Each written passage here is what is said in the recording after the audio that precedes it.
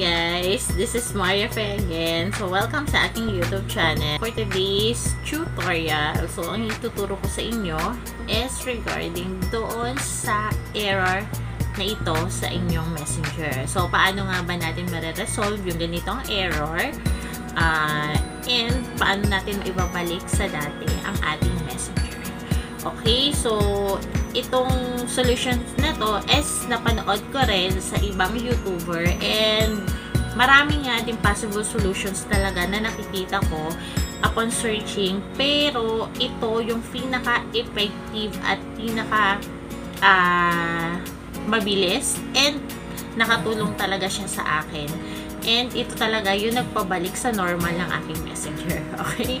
So akala ko talaga nung nakita ko tong error na to, sabi ko, may problema ba sa connection ko? Strong naman ang wifi ko and everything. So, yung pala, uh, dahil nga doon sa problema na yon so, ituturo ko rin sa inyo kung ano yung naging problema talaga, kung bakit uh, ganito yung nagiging reply sa atin or ganito yung error na meron sa ating messenger.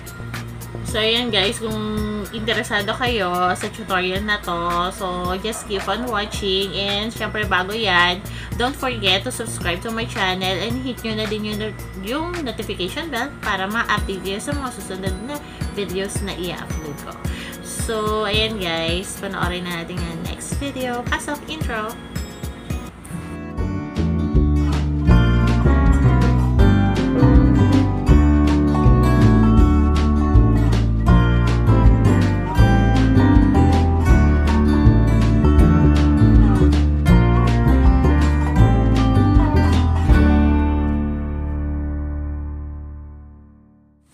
And this is step by step guide. So, sundin nyo lang po guys.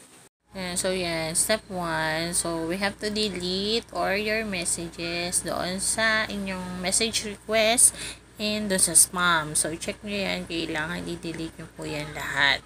Okay? So, paano nga ba natin gagawin yun? Mag-download tayo ng Messenger Lite. So, doon nyo gawin lahat ng deletion. Guys, so after that, uh, punta tayo sa ating phone settings. And then, ayan, iset natin ang ating airplane mode. I-turn on natin yan. Okay. So, after turn on, punta tayo sa ating management settings and look for messenger.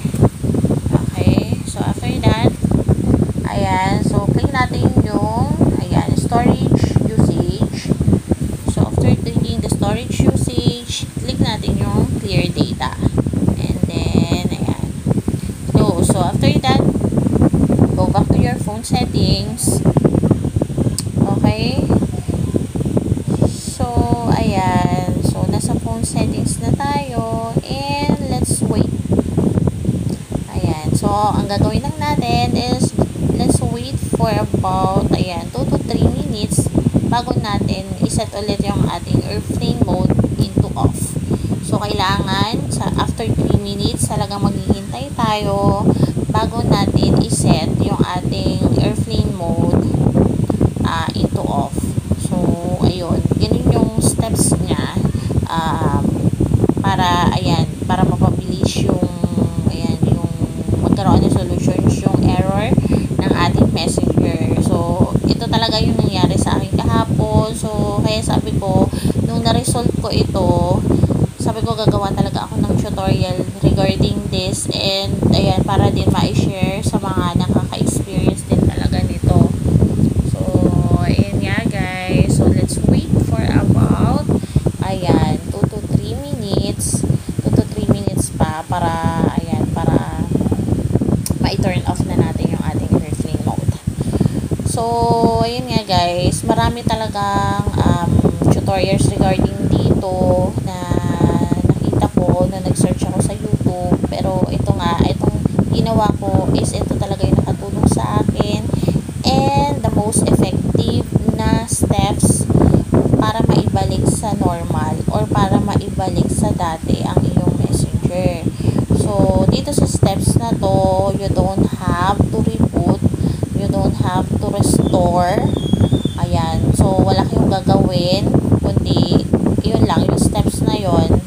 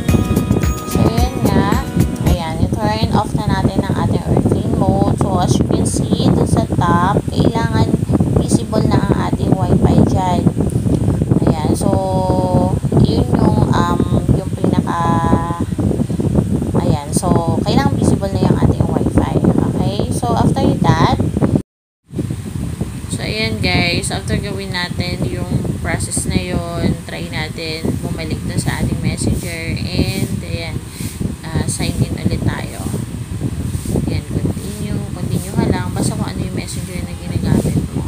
Okay? So, ayan. And let's hope na okay na ito at nagawa natin siya ng tama. Ayan, loading na siya guys. So, that's it. Ayan nga guys. So, effective yung process na yon And, ayan, naging normal na. Ayan, bumalik na sa normal yung aking messenger. So, yun. Uh, pwede nyo rin itong i-share guys, ha.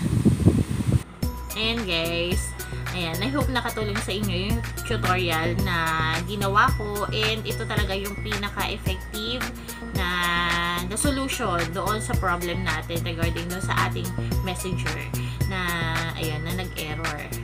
So, so yan guys, ito talaga yung share ko sa inyo kasi ito yung nag um, ito talaga yung naka-resolve dun sa problema ng messenger ko. So, kaya ito yung sinishare ko din sa inyo. And, syempre, pwede nyo rin itong i-share sa mga kaibigan nyo. And, doon sa mga ngayon na nakakaranas talaga ng mga error na ganito. So, pwede nyo din itong i-share sa kanila. So, ayun nga, like I said, doon sa uh, nakaraang vlog ko, kapag meron talaga kayo na kailangan malaman or gusto nyo ma-resolve yung mga problems rin nyo regarding anything. So, saan nga ba kayo uh, pupunta. So, ang una nyong puntahan is si YouTube. So, talaga nandiyan lahat ng mga sasagot sa mga tanong ninyo, sa mga concerns ninyo, guys. So, yun lang. So, I hope uh, may natutunan kayo dito sa tutorial na to. And, ayun nga, guys, don't forget to like this video and share na rin sa mga kakilala nyo. And, please don't forget to subscribe to my channel Ayan, and hit nyo na rin yung, yung notification bell para ma-update kayo sa mga susunod na videos na i-upload ko. So, that's it for today, guys. So, have a great day, everyone. God bless us all. Bye-bye.